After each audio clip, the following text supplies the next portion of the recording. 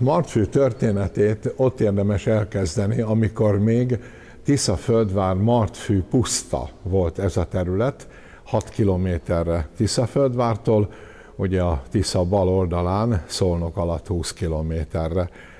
Tulajdonképpen egy ilyen majorság volt ez a terület, tehát egy jelentéktelen kis, majd nem pusztaság, amikor is az 50-es években itt letelepedett a cipőgyár. Ez egy cseh férfinek, bizonyos Bata nevű férfinek köszönhető, aki óriási tervekkel jelent itt meg a Tiszaparton, mondván, hogy még villamos járatot is fog biztosítani a Tisza földváriaknak, hogy át tudjanak jönni dolgozni a cipőgyárba. Hajóállomás természetesen lesz, sőt, mi több, repülőtér is lesz, hogy a Csehországban, Németországban, stb. működő gyár láncrendszerbe be lehessen kapcsolni majd Martfűt is. És kérem szépen, akkor ő kijelölte a leendő térképen azt a helyet is, ahol a katolikus templomot szeretné majd felépítetni. Ez a bizonyos cipőgyáros.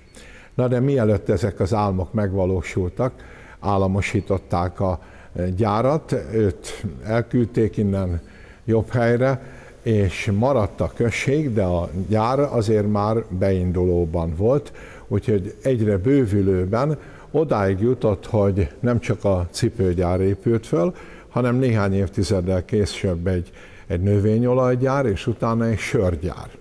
Most el lehet képzelni, hogy három gyárral ez milyen vonzerő volt a környék lakosainak a, a szervezetében, úgyhogy azért költöztek ide rengetegen környékből, sőt távolabbról is, és közel tízezer lakosú településé, és lassan-lassan városi rangú településé lett ez a Martfű puszta elnevezésű hely.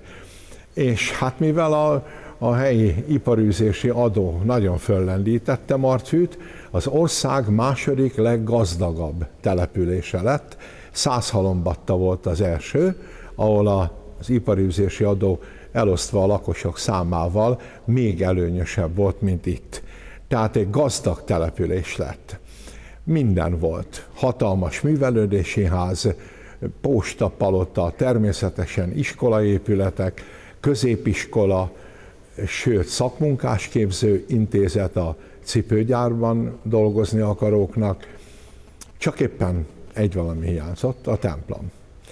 E, vallásilag, egyházilag Tiszaföldvárhoz tartozott, tehát a mindenkori Tiszaföldvári plébánosnak a dolga volt, hogy Martfűről gondoskodjon, de hát itt ez éppen a nagy keresztény ellenes propaganda idején volt az 50-es évektől mondjuk a 80-as évekig, amikor még az is el kellett, hogy felejtse, hogy vallásos, aki esetleg mielőtt ide költözött, a saját addigi helyén templomba járó ember volt. Itt a szószoros értelemben megfélemlítették az embereket, akik esetleg templomba akartak menni.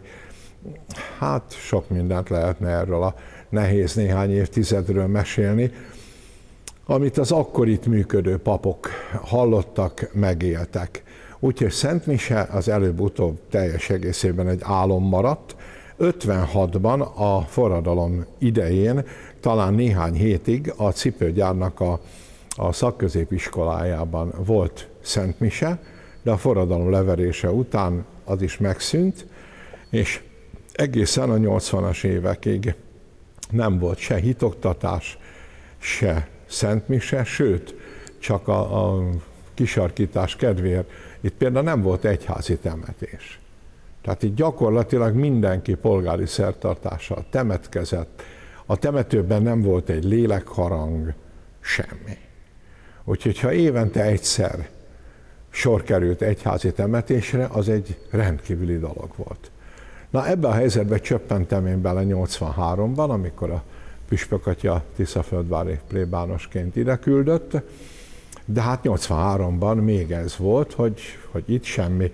Ha itt megpróbáltam egy-két gyerekkel hittanórát tartani valahol, magánháznál, egy családnál, akkor már jött az állami egyházügyi hivatal szolnoki főnöke, hogy plébánosul túl nagy a nyüzsgés.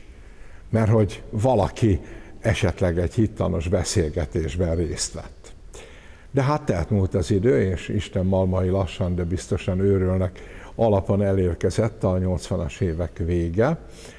87-ben még nem egészen a rendszerváltozás idején sikerült egy lélekharangot állítanunk a temetőbe. Az, az egy forradalommal ért föl. Olyan szenzáció volt. És akkor ott én örömteljes, euforikus hangulatomban állítólag, mert magam sem nagyon emlékszem rá, azt mondtam, hogy megszólal majd máshol is még harang. Mert az egy pici kis lélekharang volt itt a temetőben. De hogy mikor, hol, mekkora harang, hát az bizony legszebb álmomban sem tudtam még elképzelni. De végül is 90-ben megtört a jég, és az addig egészen pusztaságnak mondható területen itt a, a város szélén, egyik irányból legalábbis így mondhatom, hogy szélén, kaptunk engedélyt arra, hogy birtokba vegyünk itt egy akkora területet, ami egy templom építéséhez megfelel, és megkaptuk az engedélyt is.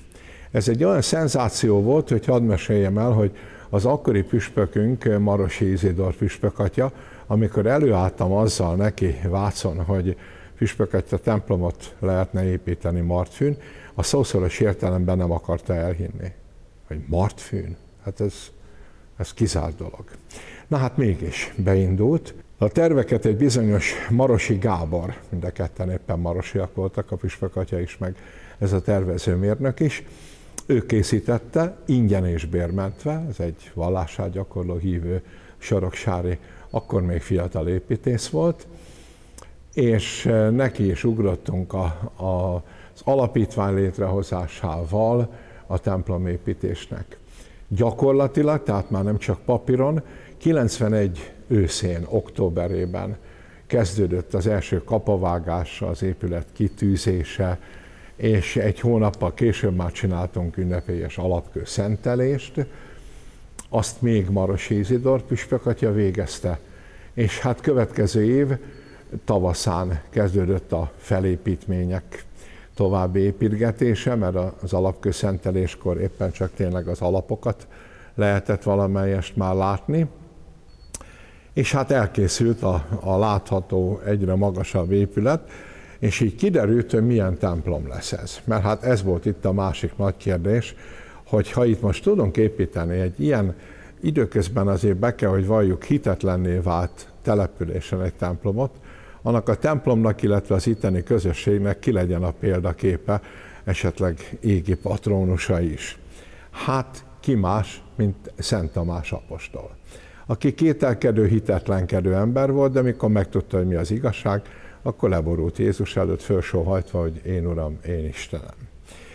Úgyhogy az építészmérnök már ennek megfelelően kapta a feladatot, hogy Tamás templomot kell építenie, és neki egy olyan ötlete támadt, hogy talán úgy lehetne egy templom Tamás templom, hogy Tamás apostol életének két legfontosabb helyszínét komponálja bele az épületbe. Ez pedig Jeruzsálem, ahol együtt volt Jézussal, a föltámadás után találkozott Jézussal, mármint Jézus feltámadása után, és India, ahova ő később elkerült, és ott halt vértanú halált. Ezért ennek a templomnak az alaprajza az az úgynevezett Jeruzsálemi kereszt, az egy egyenlő szárú kereszt, aminek a négy sarkában van négy külön kis kereszt. Ez az alaprajz. Ennek köszönhető, hogy mivel ha ezt az öt keresztet kvázi bekeretezzük, akkor egy ilyen sarkainál kiálló négyzetet kapunk, és itt is kiáll a templom belső teréből a szentély, akkor az a rész, ahol Szent Tamás apostol szobra van, a másik oldalon, ami sekresjeként funkcionál, és a bevezető előtere a templomnak. Tehát ezért az alaprajz Jeruzsálemre emlékeztet, a, a homorú kupola, nyolcszögletű homorú kupola, a majdnem csak hozzá bigyeztett, a templomhoz hozzá bigyeztett torony, aránylag magas, 38 méter 10 centi, ez pedig mindegy kicsit keleties hangulatot ad a templomnak. Tehát van is olyan, aki ha ránéz, azt hiszi, hogy ez, ez nem is keresztény templom, hanem egy mecset vagy valami ilyesmi. De hát Szent Tamás Indiában élt hosszú évekig és halt vértanú halált, tehát ezért ez a keleties hangulata a templomnak. Hát évről évre gyönyörűen szaporodtak a látnivalók. Meg kell, hogy jegyezzem, hogy csodálatos volt azt megizlelni, hogy egyetlen pillanatban sem volt adóságunk, az elvégzett munkát mindig ki tudtuk fizetni, de soha nem volt egy fillérünk se. Tehát olyan jó volt, ő pénzügyminiszterként maga Szent Tamás apostol működött talán, hogy mindig annyi pénzről gondoskodott, amennyi éppen kellett, már pedig hát azért kellett, hisz ez nem egy kis épület, és ráadásul az előtér alatt egy kolumbárium van, tehát egy urnás temetkezési hely, fölötte pedig a kórus vagy karzat részen van egy hittanterem, illetve az orgona, ami önmagában egy 23 millió forintos építmény, mert két manuálos, 23 regiszteres hangversenyorgona. Az orgona felszenteléséig az első kapavágástól kereken tíz év telt el, de azért ebből az utolsó négy év az már, az már csak egy-két művészi dolognak az elkészítésére lett igénybe véve, illetve az orgonának a, a fölépítésére lehetett mm, fordítani. Az összes többi az egy körülbelül hat év alatt elkészült. Hát maga az orgona tényleg két évig épült.